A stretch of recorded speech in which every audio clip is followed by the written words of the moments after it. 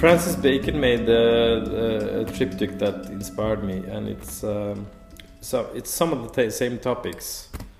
Uh, he, he, also worked on the trial of Adolf Eichmann. So I wanted to make a, a version of it in a way, and uh, in in my uh, I the, the, the references of uh, of the Jews and uh, the religion. Uh, it's because I, I also discovered uh, in, in my late life that um, my family is Jews, Jewish. Uh, it's very strange because I've been working with the Palestinians and I always had this. I don't know. I've been I've been feeling like a restless soul in a way. Uh, I don't know where my roots is. Always trying to find out where my roots is and now it's starting to come up you know it's uh, i have jewish uh, family. So um, so of course it's interesting to to to now to to see that this is something that i've been trying to explore or trying to deal with or find out and to make this kind of a collage. So it's like a collage. It's a triptychon but it's also collage about uh, evil, human evil, basically. That is what it's about. And uh, but what is evil? You know, how how do a man? What makes him evil? Can you be was Adolf Eichmann uh, evil? I don't know. Uh, but you know, this this kind of organizing, making this kind of a system, and uh,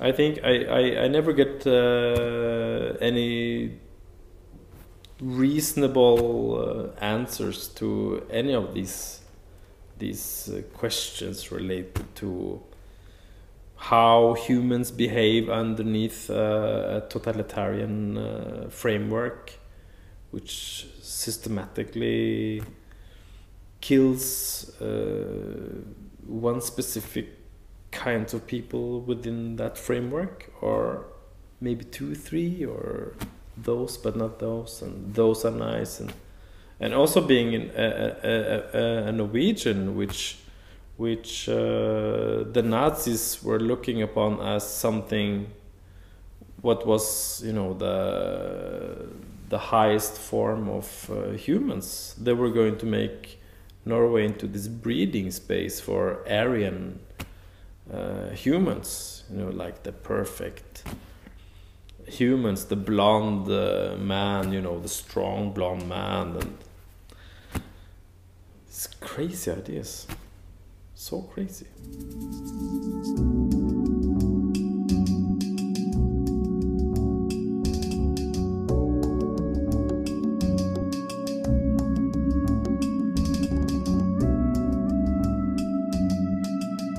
Know, she she uh, she wrote a book about uh, Adolf Eichmann, uh, or it it was the book is based upon her reports from uh, for New, the New York Times because she was present uh, during the the trial,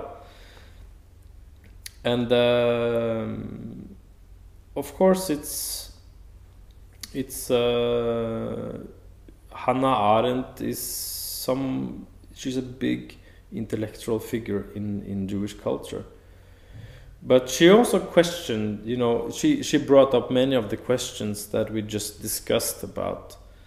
Uh, is this the personification of this kind of evil that systematically wants to kill all the Jews and how and how trying to understand and uh, so Hannah Arendt uh, is also someone that uh, was also critical towards the Israeli state.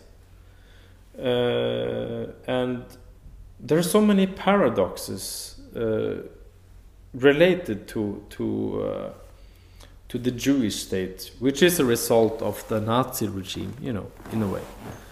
Uh, and because of the Holocaust, uh, the the, Isra the Israeli state can also behave more or less like it does now because of the Holocaust, because uh, they will call you uh, uh, anti-Semitic if you if you criticize them. So there, there's there are so many paradoxes connected to to this, and um, so but so it's interesting to to bring her into the to the to the table of uh, all it's like a chess chess table where where where you have all these these uh, different pieces on the board and uh, uh it's a never-ending chess piece uh, basically. Like Yoko Ono, uh, she was also playing with the chess piece in Duchamp and I think is a good visual example of of of this game, this international political game that just continuously uh, creates more and more uh, trouble, and we we don't learn from it ever, and it's just becoming worse and worse and worse. Unfortunately.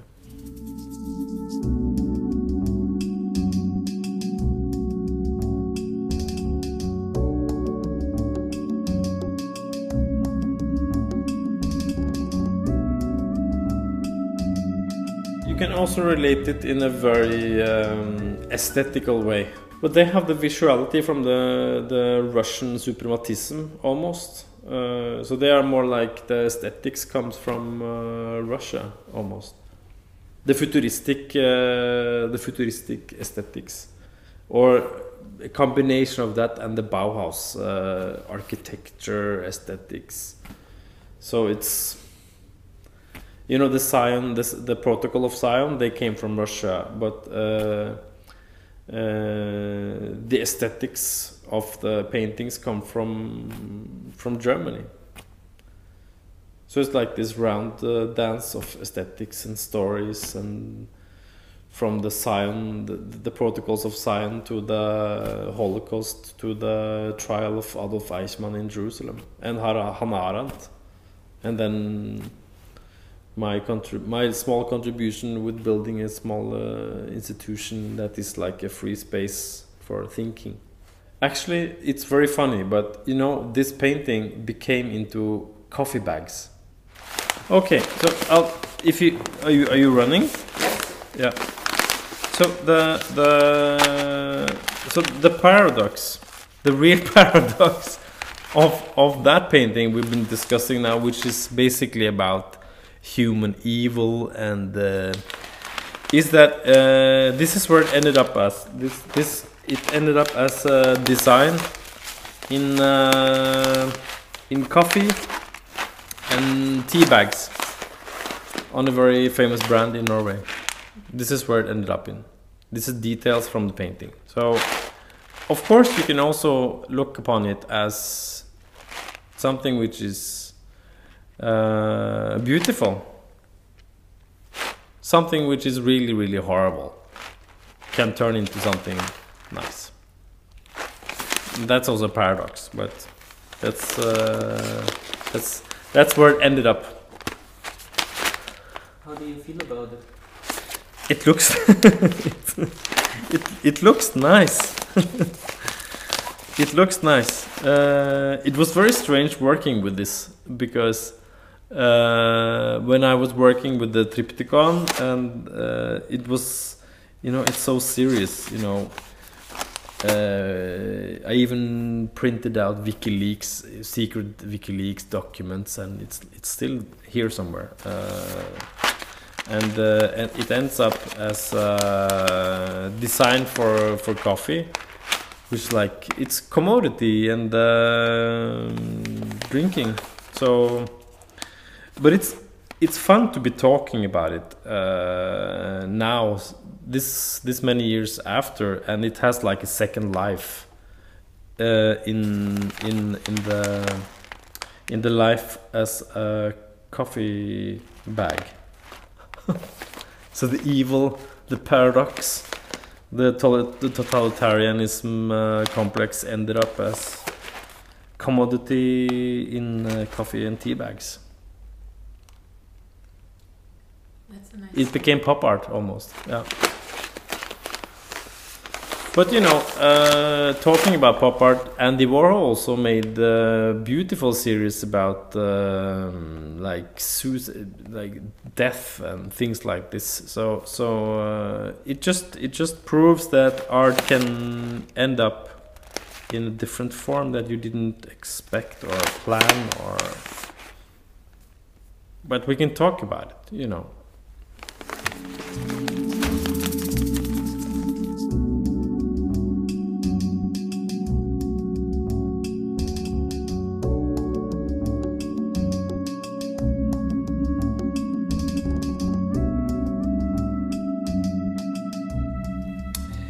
Why I went to North Korea is simultaneously while I was building up uh, the academy in Ramallah. An, another uh, artist, Norwegian artist uh, named Morten Traavik. uh, he worked on a project called Miss Landmine in Cambodia, and uh, I always liked him and uh, had huge respect for for his work. So once in a while he, he put me on a mailing list and uh, he sent out mails about what he was doing and i always try to respond to him and saying yeah go you do great work and you know be like positive uh, uh, feedback on his work and uh, telling him that i appreciated his work. And uh, suddenly just one day he uh, contacted me and he said that that he was going to establish um, uh, small institution and uh, he wanted to have a board and he just wanted one board member and that was me. So suddenly i was in his board and i never met him but uh, when we when we finally met for the first time we we just bonded really like this and uh, we're like soulmates uh, and uh, I was going through a very heavy divorce in 2014, and I just told him that you know I'm going through this divorce. Can we just do something in North Korea? I need to go there. Should we build an academy of fine arts there or something? Yeah, he said, let's do that. And then he then he took me to uh, Pyongyang and he showed me all of North Korea it was fantastic. Uh, it was huge adventure. I just fall in love with the country and the people there. So uh, that was my first encounter with uh, with North Korea. And uh, now we do the DMC Academy in hopefully in August and September 2017.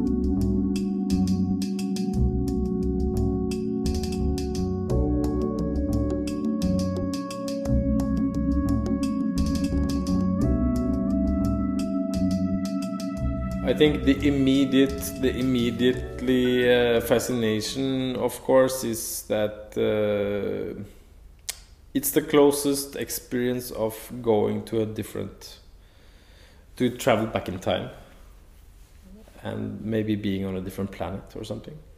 It's like a, the, it's so isolated and it's so authentic uh, it's I, I never experienced something as authentic as in uh, North Korea. Uh, you know, when you travel around the world, it's like it, you you get the same stuff basically everywhere, most of the places, especially in the in Europe and the States, and now lots in, in the Middle East and Asia, more and more so as well. Um, so it's like it's real. It's more real. I don't know. It's difficult to. Uh, it's just presence. The presence there uh, is authentic. It's not. Uh, but but then again, you feel that you are part of this theater. It's also theater, but it's authentic. It's very like it's so it's so complex it's so complex uh, and it's like back in time and on different planet it's so many things at the same time so uh, yeah intense but and it's beautiful there. It's really beautiful. I love the architecture. This communist uh, architecture. It's the, I don't know if you've been to Karl Marx Allee in Berlin. It's like this everywhere. Parade streets, you know, it's made for having like parades in the streets. Big. Air is lots of air.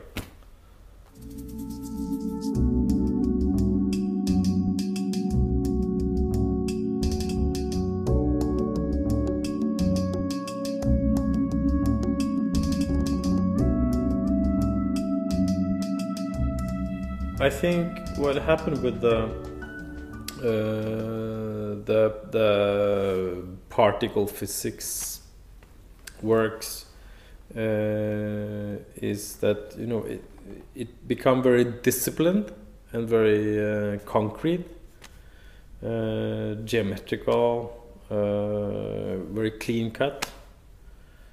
Um, because I was uh, working a lot with architecture, I was I was um, I started to work with real estate. Uh, so I bought this huge soap factory and I turned it into a theater and a cafe and uh, studio spaces for all kinds of artists. And uh, we didn't use an uh, an architect, so I was the owner together with someone else, and so I just started to be the architect. So I had to relate myself a lot to to lines and structures and I had to structure my life really uh, because I was partly like the entrepreneur and the architecture and uh, the architect and dealing with this whole building. It was like 1,800 square meters, and I my studio was the only space which was done. So I was working with paintings in there, and then there was just construction working there. Uh, so I was starting to study Mies van der Rohe and uh, um, all, you know all, all, all the architects Alvar Aalto and uh, started to investigate architecture so they became also more architecture I look when I see them now I think about architecture. And I was reading about you know how they try to find out how masses appear and you know the hadron collider where they where they shoot uh, atoms at each other and try to have these explosions and to create to create uh, masses and to create the the first explosion in the university and these wild ideas uh, to find the Higgs boson uh, and uh, all the the theories about what dark matter is antimatter the supersymmetry, all these kind of wild theories.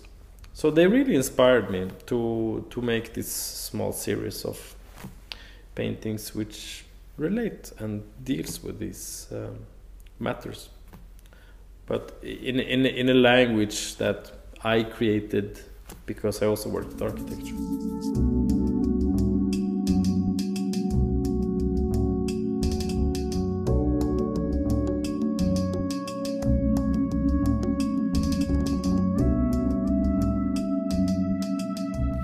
role models. Mm-hmm. Yeah, I have some role models, but uh, I don't think that none of them are uh, artists. I mean, my heroes, they they're they're not artists. Uh, I read a lot about Gandhi the last years. Uh, Gandhi is my hero uh, when it comes to life and how you deal with life and uh, if you are in a difficult situation that demands a lot from you in countering with, with other people you should always read Gandhi um, many of my heroes are um, people who have been dealing with academic works for, for many many many years and Johan Galtung is one of my uh, really favorite people on this planet. I think he's one of the wisest people in the, in, in in the world alive. You should really check him out. Johan Galtung, he's Norwegian. Uh, he was the first person in the world to establish a peace research institute in 1959. He was only 29 years old, and uh, his his thoughts about diplomacy it's uh, it's so far beyond from how diplomacy works. Uh, he should be the Secretary General of uh, United Nations, if you ask me. But uh, those are the kind of role models I I really strive to learn something from. But uh, of course, there's many artists that I feel that I uh, really love their works, like, and most of them are Germans actually. Uh, I feel very much related to the the Germans' way of thinking and approaching, especially paintings, all the way from if you go back to uh, to Caspar David Friedrich and up to Polke and Richter and Oehlen and all the big big stars, big thinkers, the big artists.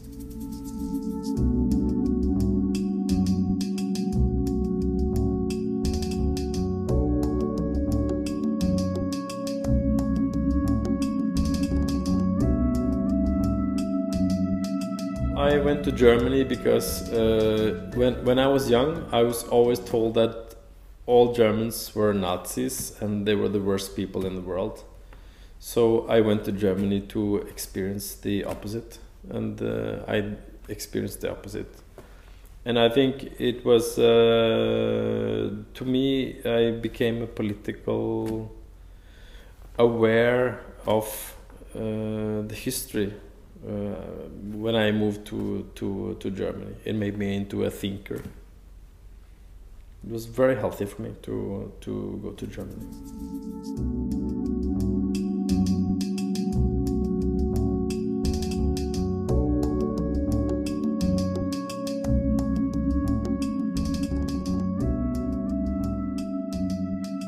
I did an exchange to Weissensee, the academy in the east. Kunsthochschule Weissensee. But I was a very bad student. I was almost never there. I remember the professor when I came there and I told him what I was into. He just said, "Well, you know, you should just enjoy Berlin. Uh, I don't think we can teach you anything in this academy." And uh, it was so strange because they were like making this. Uh, uh, nude model paintings, and it was so old school. so I just uh, hang out in Kreuzberg in nine months, and it was fantastic time. Talk to so many interesting people and learn a lot about Berlin and Germany and politics, history, philosophy, German culture. Mm. So it was so it was strange to see, you know, the the the wall because I was looking at the wall from my house uh, in Straße, and um, suddenly later working in in a space where they were building a new wall.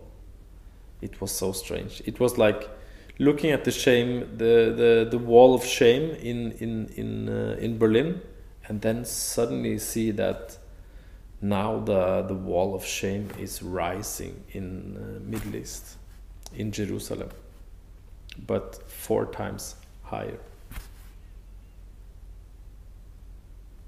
Yeah, it doesn't seem to stop with the wars. No, now they're going to build one in uh, the Mexican border too.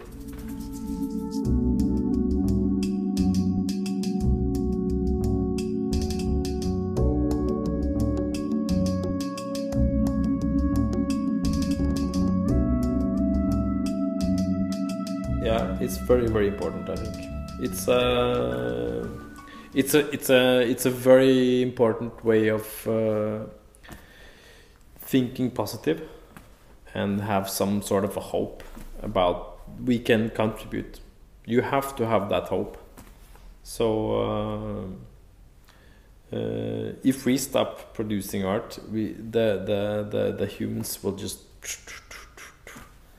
we will go down because it's it's our way of believing that we can create something uh, larger than walls or barriers or war or we can create beauty. We we have so much hope in it in, in ourselves and, and all our the, the the cultures on this planet. So we have to have art and artists art is going to be the most important uh, driving force for the humans not to destroy this planet.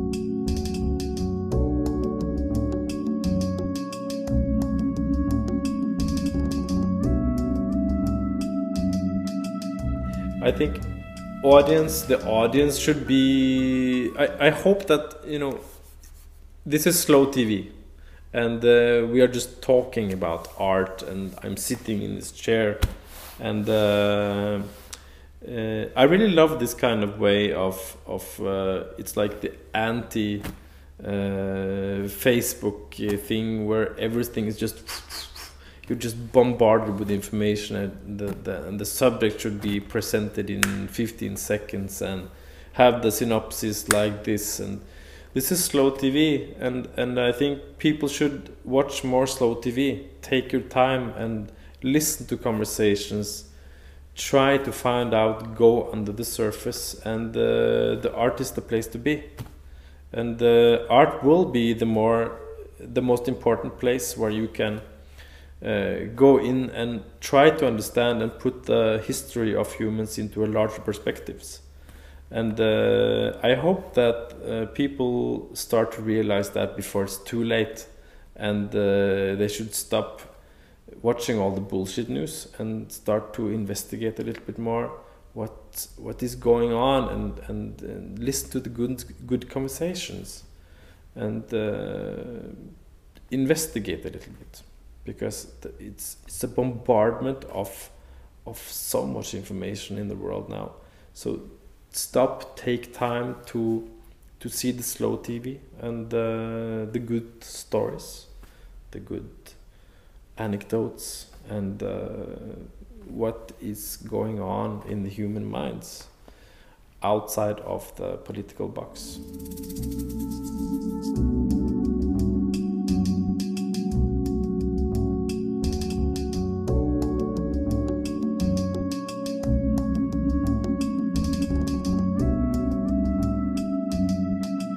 I hope I hope they they experience my work as both uh, interesting, intriguing, but but also that they can trigger something which is called beauty.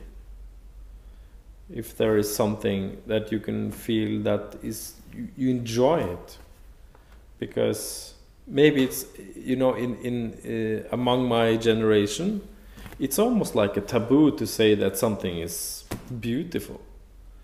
And it shouldn't be like that. I really think that why not? Why can't art also be beautiful? Because it's it's a lot of smart out smart art out there and uh, a little bit uh, too much I think and a little bit too much fashion uh, of what is supposed to be smart art and uh, if it can both be be uh, beautiful and smart, then it's a good combination. So I hope I'm both.